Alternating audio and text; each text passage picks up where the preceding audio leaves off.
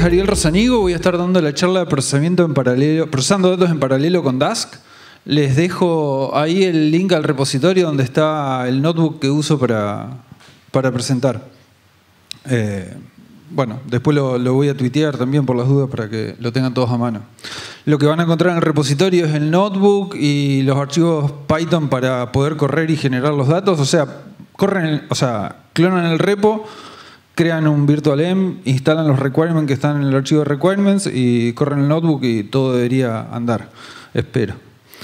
Bien, mi nombre es Ariel Rosanigo. Eh, hace más de 10 años que trabajo con Python, doy clase de inteligencia artificial, vengo del, palo de desarrollo de software. Hace cuatro o cinco años que me volqué más para la parte de data science, o sea que hoy por hoy programo y a la vez proceso datos y por eso llego a, hablar ahora de, de, de Dask. Bien, el objetivo de la charla es en 20 minutos dar una breve introducción a Dask para aquellos que no saben ni siquiera qué es, tengan una idea muy general de qué es eh, si se pueden llevar algo de conocimiento mejor, pero por lo menos que sepan eh, qué es Dask. Eh, nada, esta filmina, este, este, este, esta celda sirve solamente para saber que está todo creado y generar los datos. Y empezamos con Dask. ¿Qué es Dask? Es una librería para procesamiento de datos en paralelo para hacer computación distribuida en Python eh, Dask tiene la particularidad de que tenemos como dos grandes partes. Una parte que es la interfaz del usuario, es lo que nosotros los programadores vamos a estar usando continuamente, que está dividida como en subdividida en dos grandes partes también, interfaces de alto nivel o colecciones de alto nivel, que son las que nombro ahí, como Dask Array, Dask Bug, Dask Data Frame. Y por otro lado, hay una interfaz de bajo nivel donde me permite generar eh, funciones delayed que se van a estar ejecutando de forma paralela. Todo lo que sea la interfaz del usuario, cuando yo ejecuto cosas, lo que va a estar haciendo es generando un grafo de tareas que hay que ejecutar. Y entonces ahí interviene después la segunda gran parte de Dask, que son los schedulers. Los schedulers van a ser procesos o van a ser cosas que van a tomar ese grafo de tareas y van a ser los encargados de ejecutarlas. ¿Sí? Entonces, por un lado generamos grafos de tareas que se van a, ejecutar de forma concurrente, sincrónica o como sea. O sea, no me importa mucho cómo se va a ejecutar, yo sé en qué orden tengo que ejecutar las tareas. Y por otro lado tengo los encargados de ejecutarlas. Esos encargados de ejecutarlas, como, como está ahí eh, enumerado, hay varios, pueden ser sincrónicos, basados en thread, basados en procesos, o incluso hay un cliente distribuido que si yo quiero instalar Dask dentro de un clúster y correr mis grafos de tareas en el clúster, también voy a poder. Esta charla se va a centrar sobre todo en la parte de colecciones de alto nivel. Si llegamos, si da el tiempo, vamos a ver un poquito de eh, una interfaz de usuario de un poquito más bajo nivel, que nos va a permitir hacer algoritmos bastante más... Eh, particulares o complejos que los tradicionales que podemos hacer con Array, Back y DataFrame. ¿Quiénes de acá usan Pandas o NumPy? Bueno, varios, por lo menos. Genial. Bien, lo primero que, nombro acá es por qué queremos usar Dask. Bueno, lo, primero es porque está hecho en Python, pero lo segundo es porque tiene una API conocida. ¿Esto qué significa?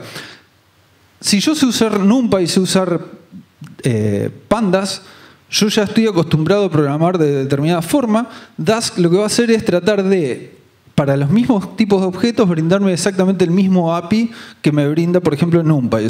Yo en Dask antes nombré que hay un array. Bueno, ese array va a tratar de brindarme exactamente el mismo API que me brinda NumPy. Digo exactamente el mismo, en realidad es eh, un subconjunto de lo que me brinda NumPy. El DataFrame también me va a brindar un subconjunto del API que me brinda Pandas. ¿Sí? Con lo cual, si yo estoy acostumbrado a escribir código con Pandas, que era mi caso, eh, pasarme a Dask no es muy complicado. ¿sí? Es el mismo API, tengo que ver algunas, algunos detallecitos nomás de cosas que no se pueden hacer o que, o que cuestan más hacerlas. Eh, eso por un lado. Por otro lado dice, se puede usar local como en clúster, o sea, yo puedo correr Dask en mi máquina y eso ya de por sí a veces tiene determinadas ventajas. Por ejemplo, en mi caso particular, el problema que tenía con Pandas es que yo tenía que correr con un dataset que en algún punto dejó de entrar en la memoria RAM y ahí es donde se quedan cortas las herramientas como Pandas o NumPy. De alguna forma, están pensadas para correr en una máquina donde entran las cosas en RAM. Cuando deja de entrar en RAM, deja de andar.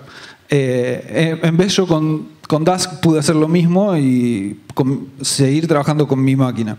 O sea, eso en cuanto a corre como local. Sí, estos schedulers que yo tengo los puedo correr todos en una misma máquina. Y, por ejemplo, puedo sacar provecho de mi máquina tiene 8 cores, puedo usar los 8 cores para correr el mismo código que antes corría en uno solo. A todo esto, ¿qué, es lo que generalmente nos pasa a los que hacemos data science? Empezamos a trabajar con pandas y en algún punto pandas se queda chico o en algún punto tengo que llevar a producción y entonces me tengo que poner a reescribir todo. Bueno, eh, para usar alguna herramienta que, pueda correr en la nube. Eh, en el caso de Dask, como yo puedo, tengo el, cliente este, el scheduler este distribuido, básicamente lo puedo instalar en la nube y el mismo código que antes corría local, ahora automáticamente pasa a correr eh, en la nube. Eh, incluso el, cliente distribuido, este que digo que puedo instalar en la nube, también lo puedo instalar local, con lo cual puedo correr el mismo código, exactamente el mismo código, tanto local como en la nube es solamente configurar el clúster. Después dice, bueno, ventaja se integra con el ecosistema Python, porque básicamente si yo uso NumPy, Pandas, eh, Scikit-learn, todos de alguna manera, eh, o sea, Dask usa todos esos paquetes tras bambalinas para implementar las cosas que quiere implementar, entonces se comunica muy bien y se integra muy bien con todos esos paquetes. Entonces, si yo estoy acostumbrado a trabajar en el ecosistema Python, eh, entrar con Dask es bastante simple. Incluso es muy simple pasar de un Dask Array a un NumPy Array o de un Dask Data Frame a Pandas Data Frame.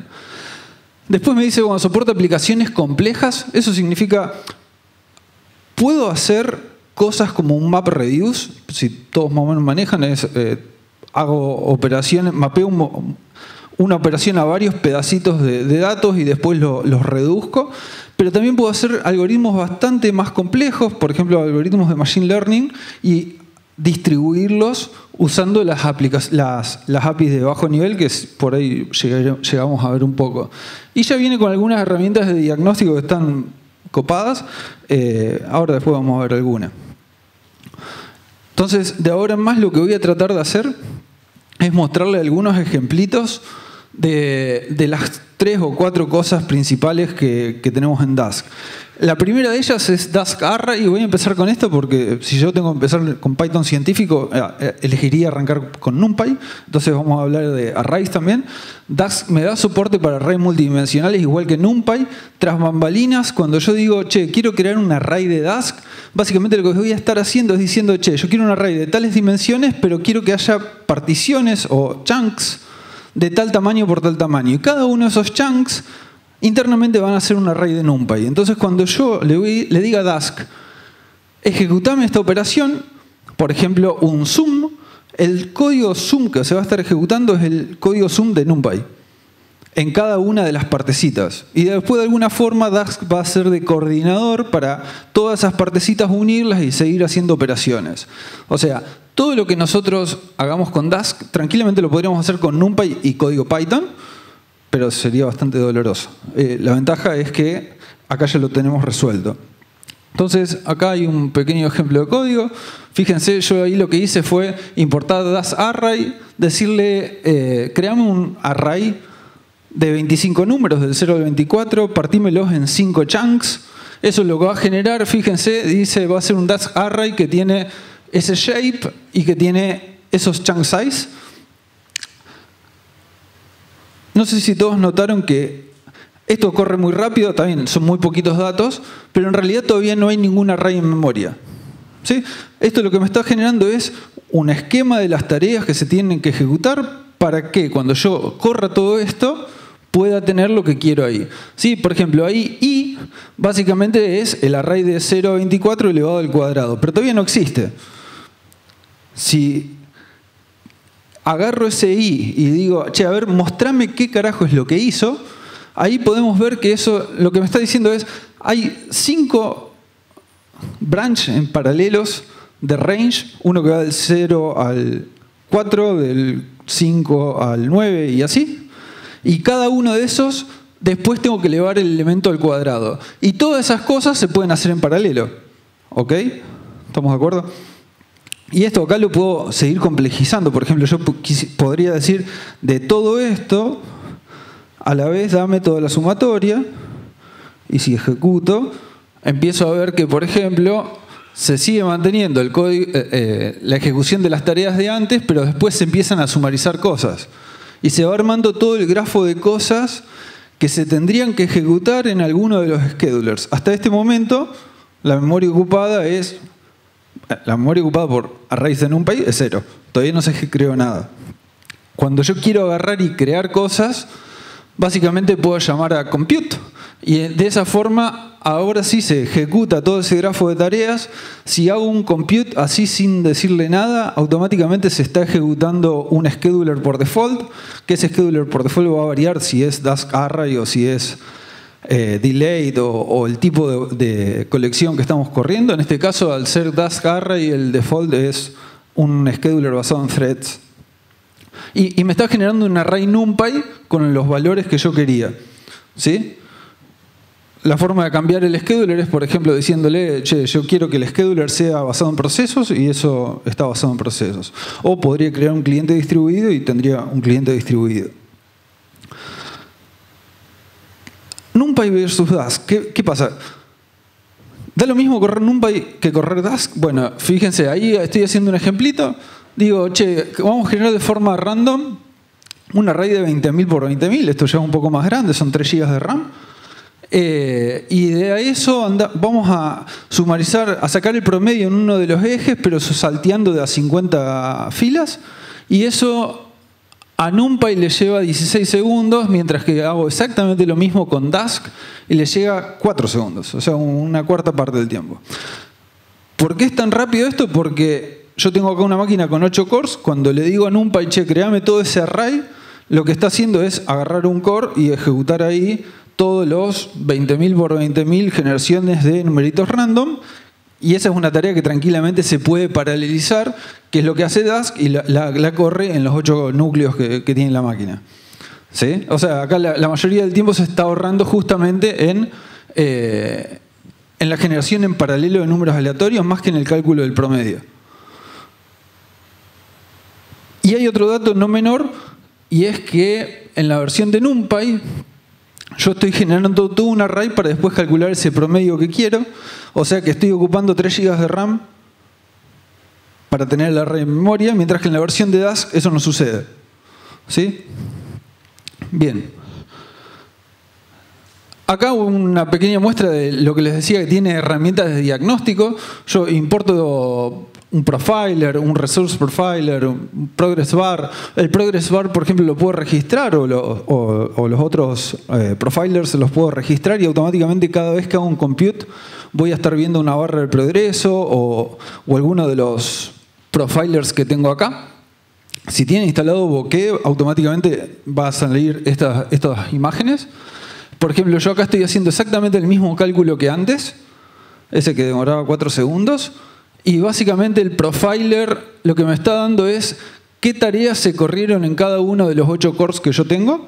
Acá van a ver que hay un montón de tareas. Si acá le hago un poco de zoom, ven que hay tareas de distintos colores. La mayoría son, no sé qué son, celestes parece. Eh, y todas dicen get item, que es básicamente generar un número aleatorio, pero hay algunas pintadas de otro color. Por ejemplo, esta acá que está pintada de lila está haciendo el promedio. O sea, la mayoría del tiempo se está gastando en generar números aleatorios. Todos los otros colores significan que se generan números aleatorios. Y acá, en este otro profiler, ven el uso de CPU. Por ejemplo, automáticamente se pasa a usar los 8 cores al 100%. Y acá tienen la variación de RAM que hubo. Eh, desde que arrancó hasta que terminó, fíjense que arranca en 6720, supongo que deben ser, eh, o 6700 eh, megabytes y termina en 6760, o sea que usó 60 megabytes de, RAM para hacer esto. ¿Cómo puede ser que use tan poca RAM? Y básicamente va generando lotecitos de números y va a ir calculando el promedio Y es algo que cualquiera de ustedes puede programar con iteradores en Python y, no hace falta Dask, pero en este caso yo no tuve que hacer nada y también lo tengo. Y cuando hago cálculos mucho más complejos, la cosa se va complejizando para el programador normal y para Dask eh, lo hace solo por atrás. Hay otra estructura de, datos de alto nivel que se llama DASKBAC. DASKBAC está pensado para trabajar con objetos Python, puede ser diccionarios, listas. Lo más es, muy común usarlo con JSONs. Entonces, por ejemplo, no voy a entrar demasiado en esto, pero básicamente yo ahí generé datos eh, sample eh, de, por ejemplo, podrían ser tareas que tienen una duración. Generé un archivo por mes, o sea, yo ahí en memoria, cuando, perdón, cuando corro el notebook voy a estar generando dos archivos JSON que están comprimidos en GZIP. Esos archivos JSON representarían un mes cada uno y adentro de cada mes tendría mil datos. Es, muy poca info, pero es solamente para mostrar cómo funciona. Fíjense, eh, yo acá le estoy diciendo, léeme todos los archivos JSON de este directorio. Eh, esos archivos, si yo miro un registro, básicamente tienen este string. Si le digo, che, mapeame esta función JSONLoad por cada una de las filas y pido uno, ahí empiezo a ver que ahora se generó un diccionario Python. Y básicamente lo que puedo decir es decir, che, agarrá de todos los datos, o sea, de los dos archivos, la columna o el, el atributo duración que está dentro de cada una de esas líneas y calculame un promedio. Y cuando visualizo qué hace, podemos ver que en paralelo va a leer cada uno de los archivos JSON va a convertirlo a, o sea, va a leer los archivos de texto, los va a convertir a JSON, va a extraer la columna duración, las va a ir sumarizando y calculando un promedio y al final de todos, de todo va a calcular el promedio real de, todo de todos los datos que tengo. Y después lo que puedo hacer es decirle, bueno, compute y otra vez lo mismo, calcula el promedio de, de eso ahí. ¿Sí? Otra, estructura de alto nivel que tenemos en, en Dask es DataFrame. Acá es donde yo le saqué provecho. Yo entré por esto. Eh, básicamente es el DataFrame de Pandas, pero llevado a forma concurrente. La misma idea que veíamos antes con los, con los arrays. ¿sí? O sea, básicamente son DataFrame de Pandas que tienen particiones de forma eh, horizontal. Sí, si tengo un millón de filas, ese millón de filas van a ser en bloquecitos de acuerdo a alguna lógica que yo le quiera dar. Y ahí es donde ustedes tienen que ir a la documentación y leer bien cómo le dan esa lógica, porque ah, hay que hacerlo bien para que las operaciones se puedan eh, paralizar. Bueno, ¿cuándo me conviene usar DAS Data Frame? Básicamente creo que es la misma recomendación que para, para la parte de Arrays. Si tengo un data frame de pandas que no me entra en la memoria, está bueno usar Dask data frame porque es la misma sintaxis y puedo trabajar con partecitas y las otras partecitas eh, Dask las va a ir dejando en disco y las va a levantar cuando haga falta y demás. Eh, cuando la cosa entra en memoria es mejor usar pandas directamente. Lo mismo que pasaba antes con los arrays. ¿Por qué? Porque me evito el overhead de tener algo que coordine un montón de partecitas dando vueltas, excepto que eh, las operaciones que yo quiera hacer se puedan paralizar, que es el segundo punto que dice ahí, es aprovechar todos los cores para hacer algún tipo de cálculo. O sea, o, ¿cuándo es bueno usarlo? Cuando no entra en la memoria o cuando puedo paralizar operaciones que por default eh, pandas o, NumPy no, no paralelizan. Eh, cuando no usarlo, cuando los datos no son tabulares, cuando entran las cosas en memoria o cuando tengo que hacer un cálculo no estándar, que cálculo no estándar sería, quiero hacer algo que Incluso Pandas no, está pensado para soportarlo. Es como tratar de forzar a Pandas a hacer un cálculo que no está pensado para eso. Por ejemplo, si quiero trabajar con JSONs, no está bueno pensar en usar Dask Data Frame porque no está pensado para eso.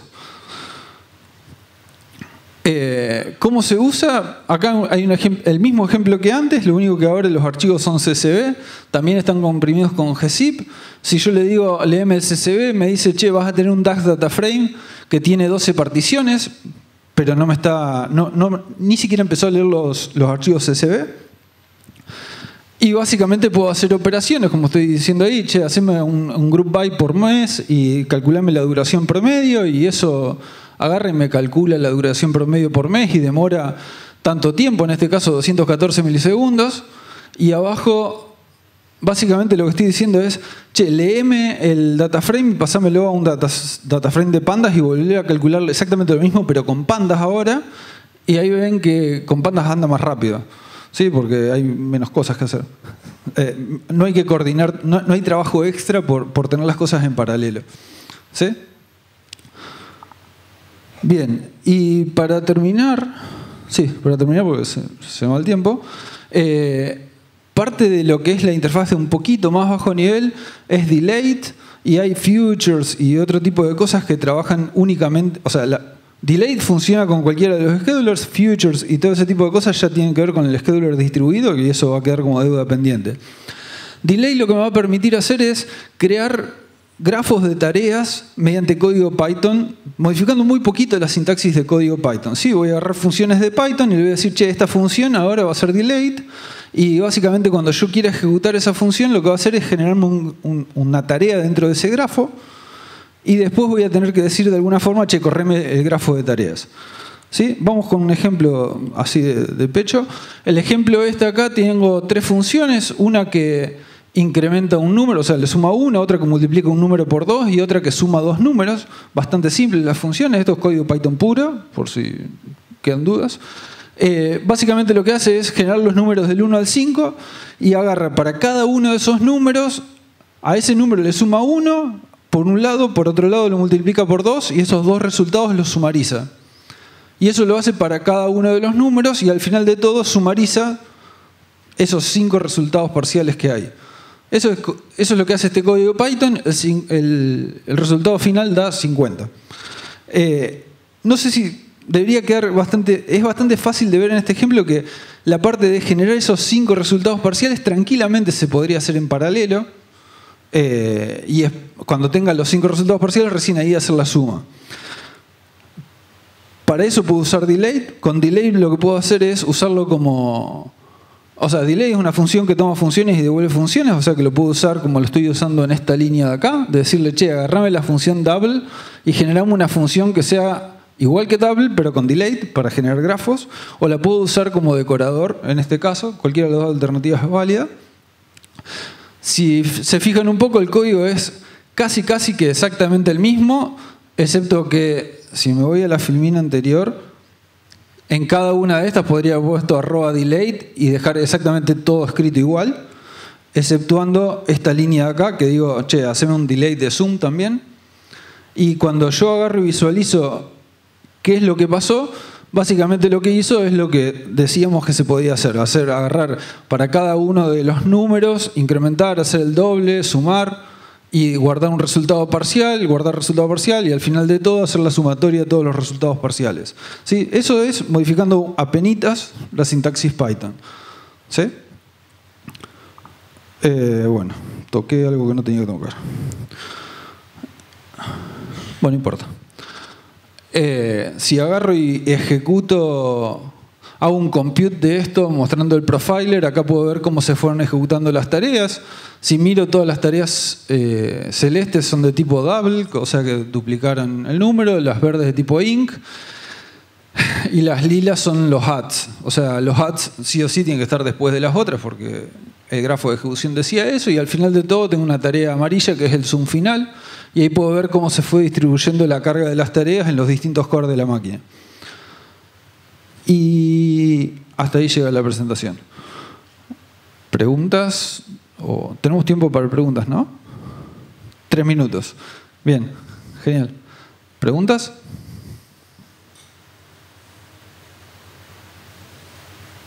Bueno, gracias.